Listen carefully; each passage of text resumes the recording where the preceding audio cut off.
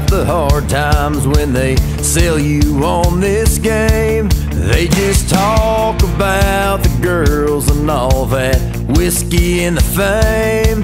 But even if I'd known, I'd have saddled up anyway.